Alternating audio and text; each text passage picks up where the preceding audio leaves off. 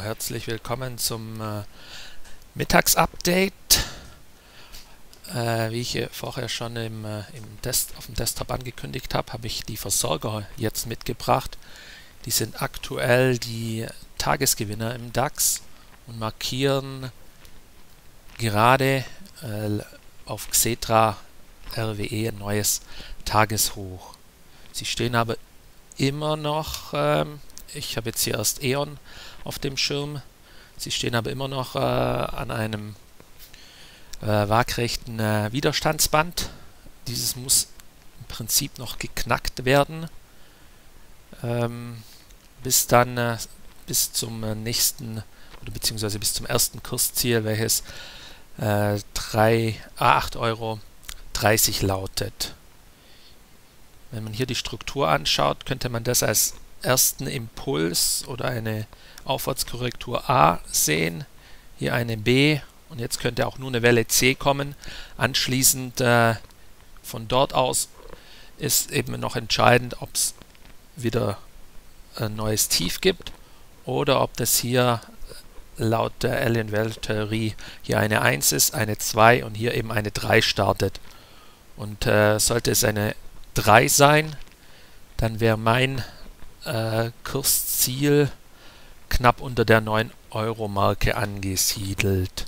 Hier dürfte es äh, zunächst nicht äh, weiter nach oben gehen, weil auch im Tageschart hier dann der EMA 38 lauert. Der würde jeweils hier nicht überwunden, hier nicht überwunden und wäre sozusagen hier das Anlaufziel. Bei RWE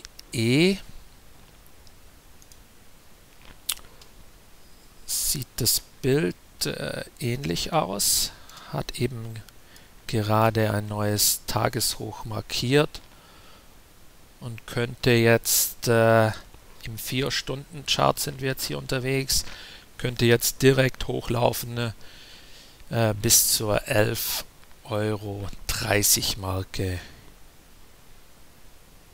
Hier würde dann der Kurs auf die Wolkenunterkante treffen und auf dem EMA 62. Ja, das ist einer meiner auch eher meiner Lieblings-EMAs, den ich, die ich oft im Chart verwende.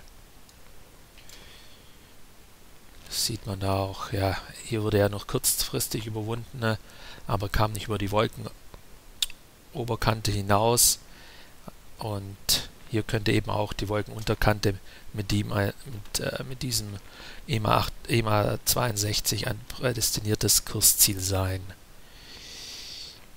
Im Tageschart, ähm, wenn man hier mit der E.ON vergleicht, ja, hätte der Versorger noch bis zum EMA 38 und eben auch hier zum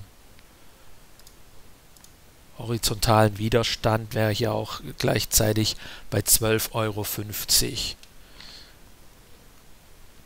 Also könnte, könnte im Prinzip das erste Kursziel 11,11 Euro 11 lauten und äh, geht es hier signifikant äh, drüber, könnte es äh, dann direkt auf 12,50 Euro laufen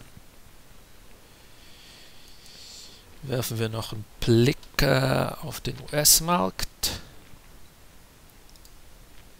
Da kommen ja auch um 14.30 Uhr die wichtigen Arbeitsmarktdaten raus. Da könnte ist auf jeden Fall noch das präferierte Szenario eintreten, dass wir erst noch eine Korrektur sehen ähm, im Laufe der nächsten ja, ein, zwei Handelsstunden relativ schnell, vielleicht eben nicht mehr so einen tiefen Rücklauf, aber bis zur 4200er Marke äh, könnte es äh, locker gehen bei der Volatilität. Aber dann äh, sollte man, bevor man hier blind äh, einsteigt, sollte man noch in den unteren Zeitebenen, äh, vielleicht im 30-Minuten-Chart, auf eine Umkehrkerze warten. Ja.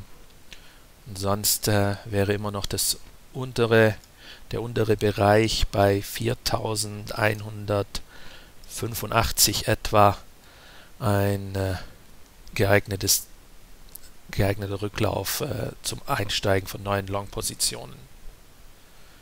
So, dann wünsche ich noch allen ein glückliches Händchen zu den Arbeitma Arbeitsmarktzahlen und wir hören uns am Montag wieder. Schönes Wochenende allen.